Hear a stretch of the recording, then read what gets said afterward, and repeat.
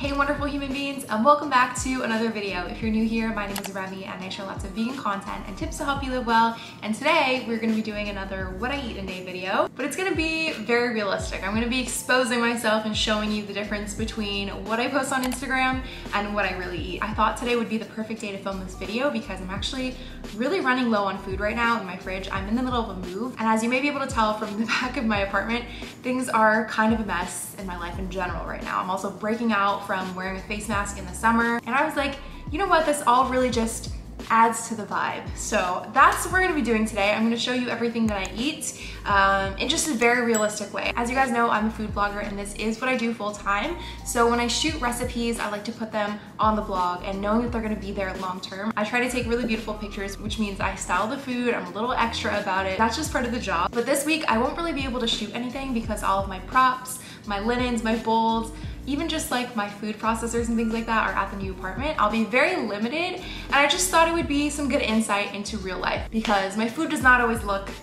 like this. It's not to say that Instagram isn't real life because I do eat all the things that I post, but it's more that I don't always go to that extreme level of styling on an everyday basis. And I feel like that's also really important to share with you guys. I used to do videos like this a while back and I haven't done one for a very long time. So I thought now would be the perfect time. All right, so for breakfast, I'm gonna have this Almond Joy smoothie bowl. I actually made this recipe probably over a week ago and I shot it and shoved it in the freezer because at the time of making it, I really wasn't that hungry. And as much as I try and eat things right after shooting them. Sometimes it's not possible because it isn't always aligned with my mealtime or I just don't have the appetite. So what I did was throw it in the freezer and save it for a day like today. And this is what I'll be having for breakfast. Here's what it's supposed to look like or would look like on Instagram. And here's what it really looks like. It's an almond joy smoothie bowl. The recipe's on the blog and I'll link it in the description box. As you can see, I dipped it a little bit just to make sure that it tasted the way that I wanted it and popped it in the freezer and this is what we got. I mean, this is actually a really good way to save smoothie bowls. You could even store them with all the toppings on top and I mean, it's pretty intact, right? So I'm gonna wait for this to thaw a little bit and then that will be breakfast today. I almost forgot to film this before I ate it all, so I'm almost done here, but I let it melt a little bit until it becomes a little bit frosty, but definitely edible, where it's not gonna like crack your tooth or anything, and it's kind of like an ice cream. This does not look good at all, but that's the point of today's video, right? Because the truth is this tastes just as good as it did yesterday. Um, so there you go.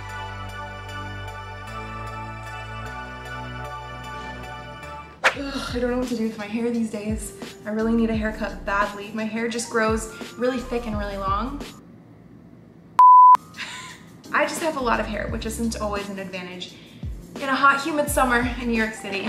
Anyways, I am ready for lunch and I wanted to show you guys what I'm having because I've decided to make a pizza. So I'm using the Simple Mills almond flour pizza crust. Actually, we're using the bread mix because I accidentally packed up the pizza mix, but they're about the same. So I'm just gonna go with this bread mix. And what I'm doing is just putting marinara sauce on it and then adding zucchini and this delicious tofu ricotta that I made the other day. This was from another recipe, my zucchini ricotta ravioli, which I think I posted a YouTube video for. But if not, I have a recipe in the description box below. It's just the best ricotta and you end up with leftovers. You could also make more zucchini ravioli or just use it for something else. So I'm just gonna throw it on top of my pizza. And I thought I was gonna take a picture of this, but it's kind of a rainy day. So this happens sometimes where I just scratch an idea or I just wait to shoot it another day because the weather isn't good. I'm having this unstyled pizza. I'm not really gonna post this anywhere. It's not really even much of a recipe because I'm using a box mix. It is really nice as a food blogger to enjoy a meal solely for the purpose of eating it and that may sound really stupid, but I really try not to waste any food. So what I find is that if I'm able to line up a meal that I'm recipe testing with an actual mealtime, like let's say I'm making a pizza and I want to style it for the blog, I might make it in the morning so that after I get the shots done, I can eat it for lunch. Um, yes, I eat a lot of cold food and yes, I end up with a lot of leftovers that I usually share with friends and neighbors, but honestly, a lot of it just goes in the freezer and it's great for days like this when I just don't have the time or the equipment to cook.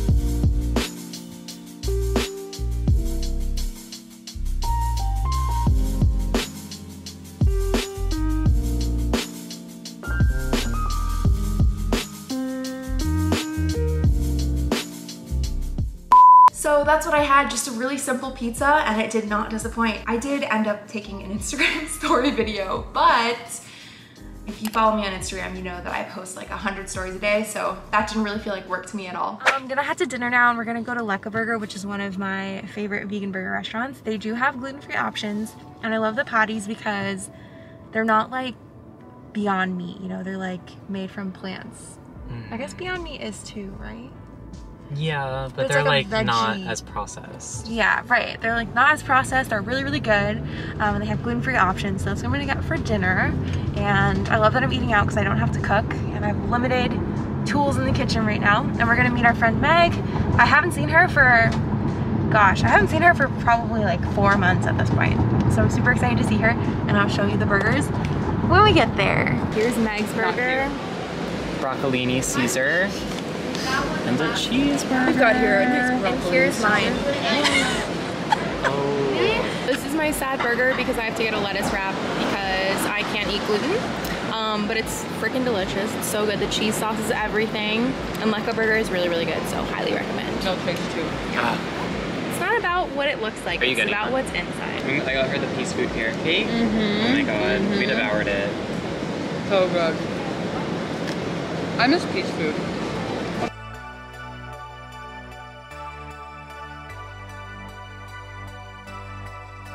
Hi. Mwah, mwah. I give you mask mask kisses. Mwah.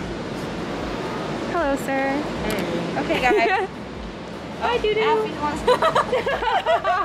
So I just had one of my first outdoor dining experiences. I had gone to one other vegan spot before just to take photos outside and it was like one of those weird days where it was hailing, thunderstorming, pouring, and then it would be super sunny for a while and then rain again.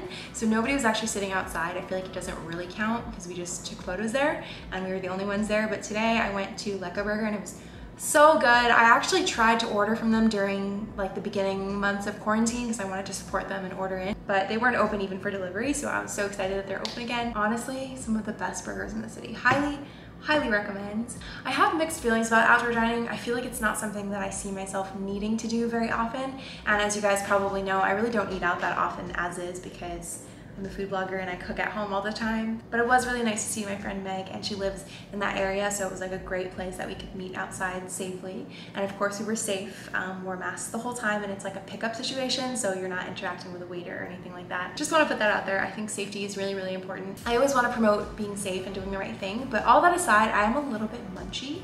I had a little bit of oat milk soft serve there which also it's amazing. You have to get the oat milk soft serve with the tahini crumble topping or the halva. Oh my god, it's divine. Um, I might have a little snack of something and that's kind of gonna be it for the day.